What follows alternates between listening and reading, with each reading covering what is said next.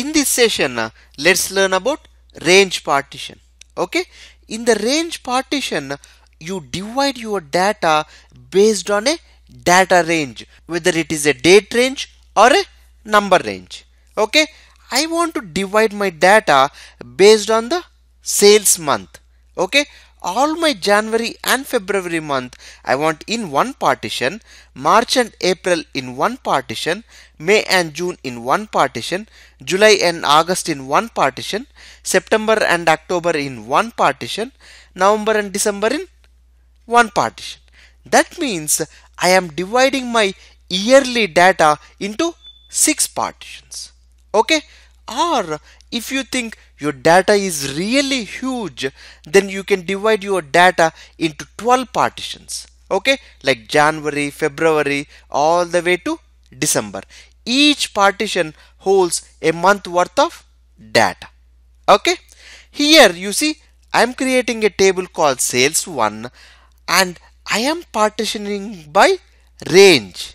And what is the column I am using for the range? It's a order date. That means based on the order date range I am dividing the data into partitions. Okay? Here it is partition partition name values less than 2015 July. That means all the data for the order date less than 2015 July 1st will be stored in partition sales P1507 and all the order rows with the order date less than or equal to 2015 August 1st will be stored under partition sales P1508 and all the rows with the order date less than 2015 September 1st will be stored in sales P1509 and all the other values which are greater than this value will be stored in the sales underscore Pmax. You see I divided it to four partitions. Okay? But whereas you can create a table with 12 partitions and each partitioning holding a month's worth of data. Okay? Now let's go and create this table. Okay? So just like uh, we create a regular table create table sales 1 and the column is customer ID number and I want the sales date which is a date column and then I want the order amount which is number and then I want the region which is a varchar2 column of 10 okay? So if we can create this table this table will become a non-partition table. I want this table to be partition. So partition by we want a range partition right so range using which column? We want by sales date, right?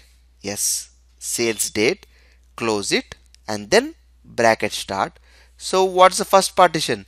Partition, partition name I want to give it as 1506 P1506 values less than and the date okay to date of 01 January 2015 comma dd dash mon dash yy bracket close and close comma. Okay that is my first partition. So let me paste this okay? Control c and and let me create 12 partitions. 2 3 4 5 6 7 8 9 10 11 12 okay? And take the comma out and close the bracket. Okay?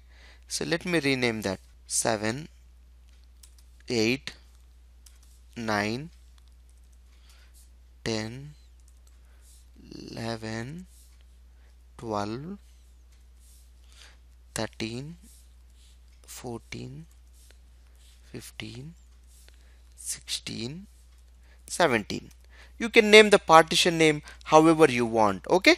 They need to be distinct for the given table okay?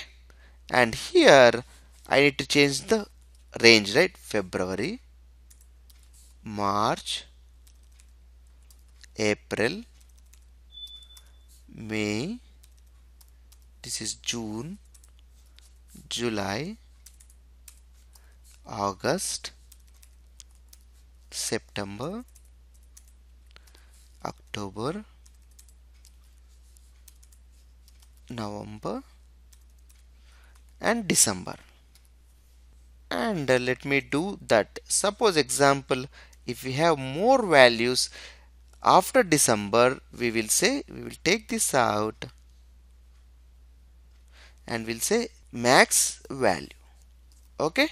So that means if the values are greater than or equal to 1st December they'll be stored in this partition. Okay? And I'll make this P151 so now you see this is the table. I have four columns and I am creating a range partition on sales date and I am creating 13 partitions. Okay? One for each month and then after that if there is any value greater than or equal to 1st December I'll be storing in the P1518 partition. Okay? So let me select that and create the table. You see table sales one created. Now let's insert some data. Insert into sales 1 values customer ID 12th Jan 2015 comma order amount 10 and east. Okay? So and let me insert and then commit. Okay? So where will this row be inserted? It is 12th January right? So is it less than 1st January? No. So is it less than February 1st February? Yes. So this row will be stored in the partition P1507 right? Okay let me insert this. February and make the order ID as and run this. Insert another row and let me commit. Okay? So now how do we check where these rows are stored? Okay? So I will do sales 1 to show that we have two rows. Okay? We have two rows. So now if you want to query the data for a particular partition it is partition and the partition name. So I want to see if there are any rows in P1506 okay? So I select that close it and semicolon. So no rows. Okay? Because we didn't insert any rows with less than 1st January 2015 so let me query P1507 so now let me run that. You see the 12th January 15 sales date row is stored in the partition P1507 because 12th January is less than 1st February 2015 okay? Like this depending upon your sales date value the rows are stored in different partitions. Okay? And let me show you something else. Okay? So I'll take this out and say where sales date equal to 12th January 2015 and let me execute this. Obviously you'll get one row.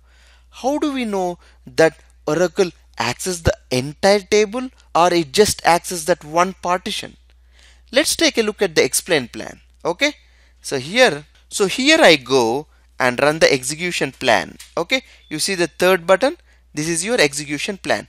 And if you look at the execution plan you see partition range single. That means it accessed only one single partition to get this data okay? Cool right?